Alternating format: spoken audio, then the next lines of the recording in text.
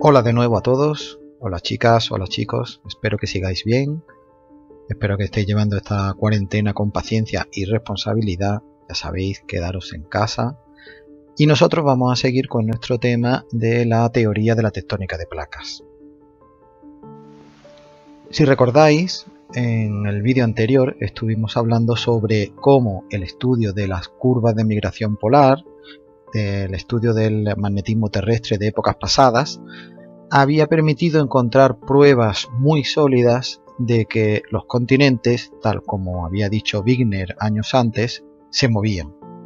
Esto estaba bien, pero claro, seguíamos sin responder, seguía sin responderse a la pregunta clave que se hacían todos los científicos. ¿Qué mecanismo los empuja? Por eso hoy vamos a dedicar la clase al estudio de los fondos oceánicos, porque resulta que muchas de las respuestas, o al menos muchas de las pistas que eran necesarias para dar respuesta a esa pregunta, estaban precisamente bajo la superficie de los océanos.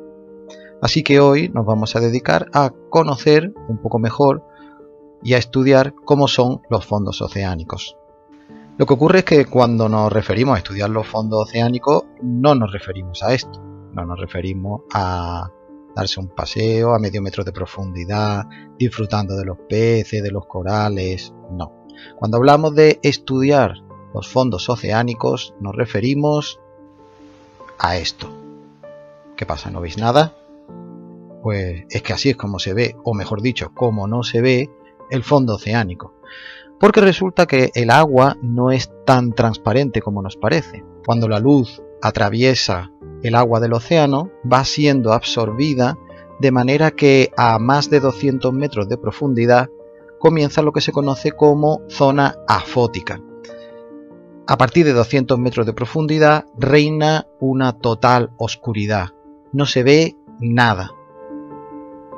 Bueno, excepto alguna criatura extraña luminiscente de las que habitan el fondo de los océanos.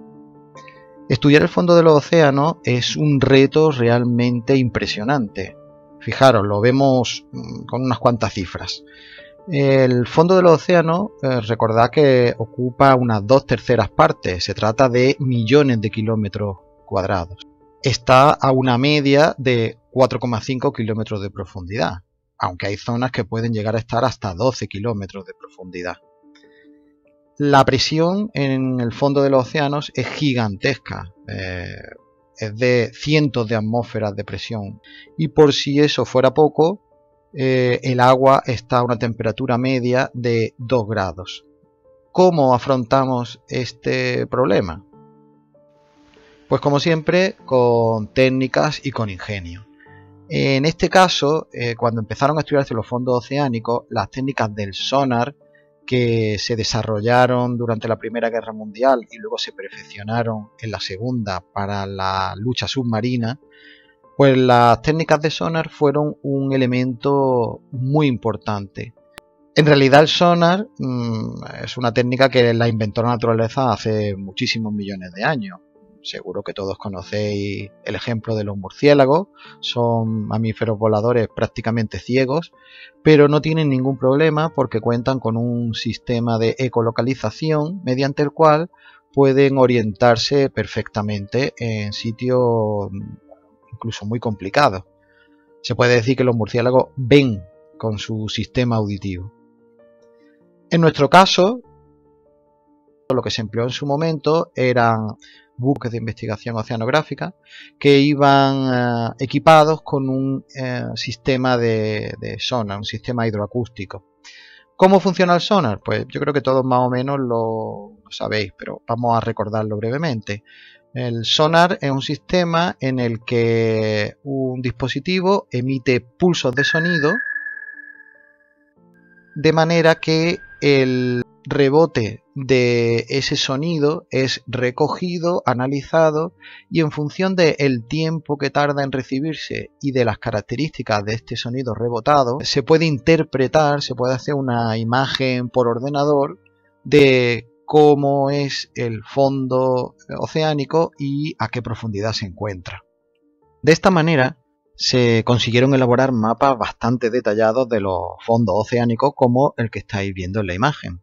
En este caso se trata del Océano Atlántico y como veis eh, una de las primeras cosas que se descubrió es que el relieve de los fondos oceánicos era peculiar y bastante diferente al de los continentes. Los fondos oceánicos contaban con algunos elementos del relieve eh, específicos de ellos que no podíamos encontrar en ningún otro lugar. Uno de los más llamativos, quizá el que más, o de entre los que más, son estas grandes cordilleras submarinas que recorren el océano de sur a norte o de norte a sur. Tened en cuenta que estas cordilleras tendrían cientos de kilómetros de anchura y su altura estaría en torno a 2 kilómetros, 2 kilómetros y medio. Para analizarlas con más detalle, vamos a fijarnos en una zona concreta, esta que está aquí recuadrada, y la vamos a ampliar. A estas cordilleras mm, se les denomina dorsales mesooceánicas, dorsales oceánicos, esta en concreta sería la dorsal atlántica, y fijaros en los elementos tan característicos que tiene. Eh, por una parte se observa un eje que es discontinuo, se nota como la cordillera está, la dorsal está fragmentada en secciones y aquí podéis ver cómo efectivamente se aprecia como ese eje, esa cima, por así decirlo, de, de la dorsal está ah, fragmentada.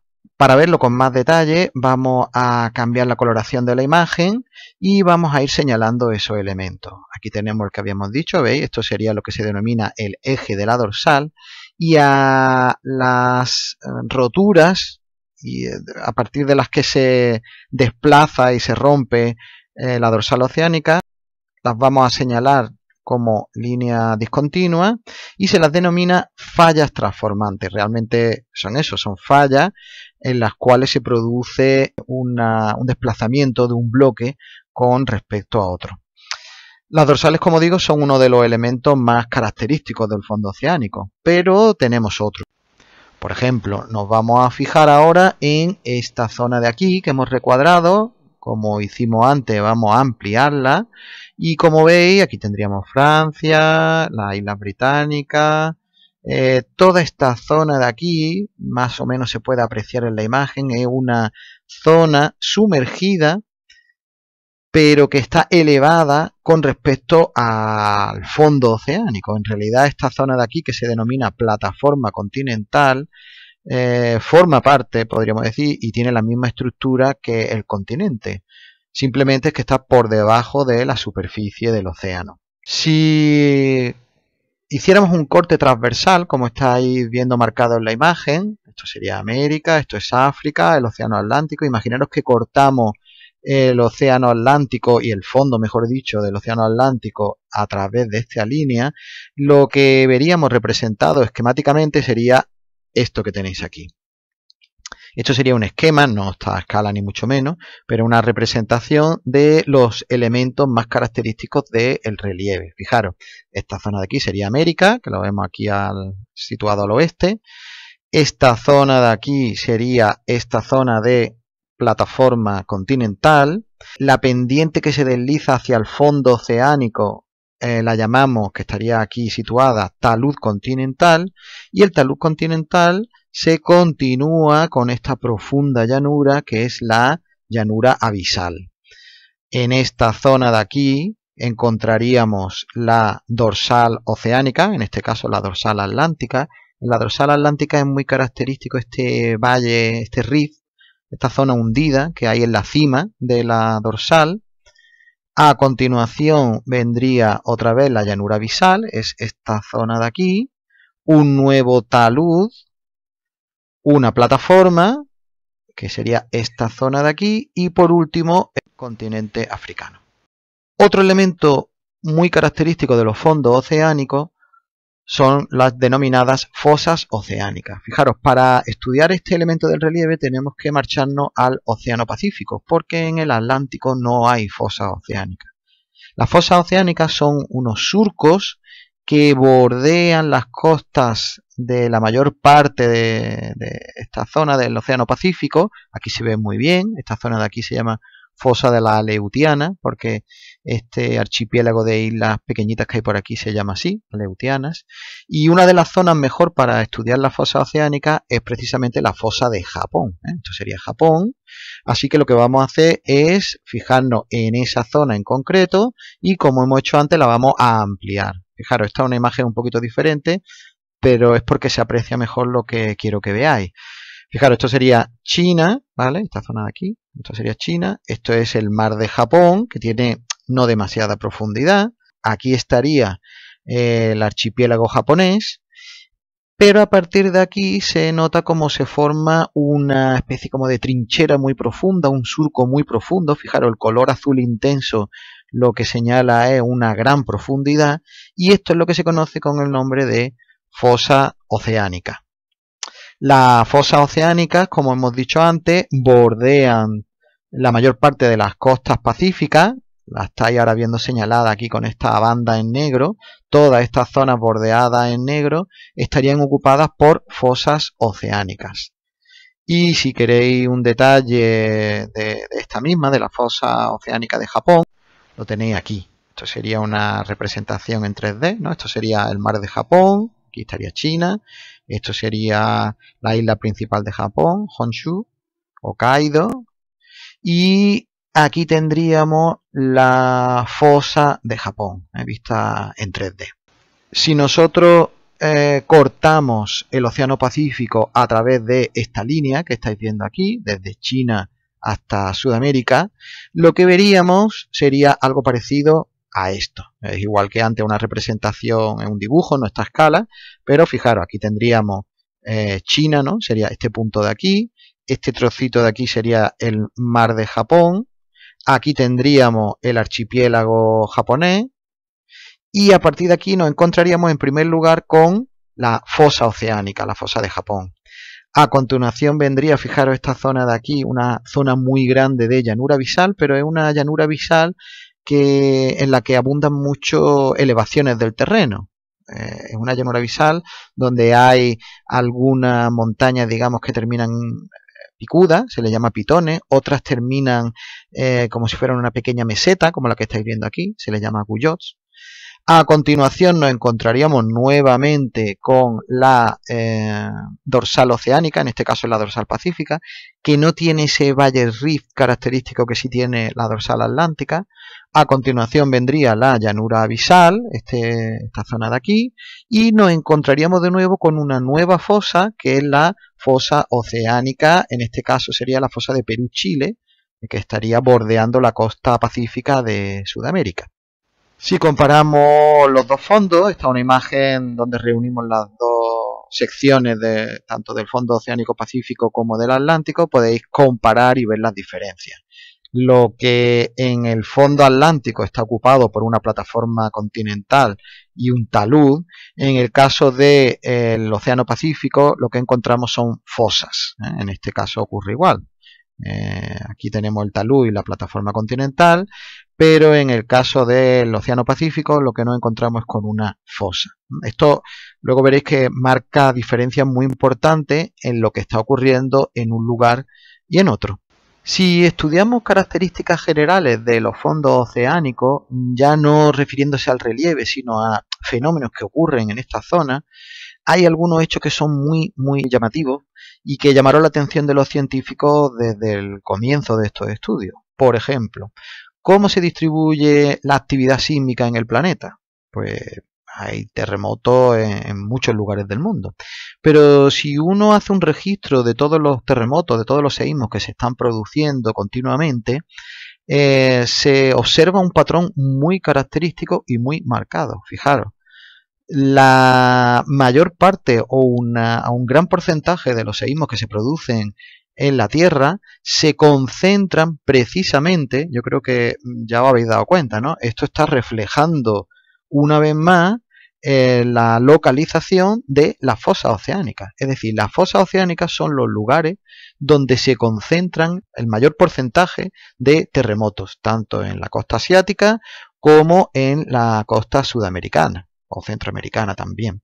Fijaros que las dorsales oceánicas, aunque no con tanta intensidad, pero también son lugares donde se concentran muchos seísmos. En la dorsal atlántica se ve también muy bien. ¿Veis que se ve dibujada? Todo, no lo he comentado antes, pero todos los puntitos rojos se refieren a, a. Y aquí, pues como veis, nos está marcando perfectamente la trayectoria que sigue la dorsal, en concreto el eje de la dorsal. Si nos fijamos en vez de los terremotos en los volcanes, el patrón vuelve a repetirse nuevamente. Si os dais cuenta, nuevamente las zonas de fosa oceánica concentran la mayor parte de todos los volcanes de la Tierra. En la dorsal oceánica el patrón no se ve tan bien, pero es que estudiar el vulcanismo submarino a tanta profundidad es bastante complicado y no se conoce tan bien como otro tipo de volcanes. Todos estos datos, si os dais cuenta, nos están señalando que eh, tanto las fosas como las dorsales oceánicas son lugares que geológicamente son muy activos, ahí están ocurriendo cosas diferentes además a las que ocurren en otros lugares, lo cual ya nos está dando una pista o nos está dando un toque, una llamada de atención para que concentremos nuestro esfuerzo de estudio en estas zonas.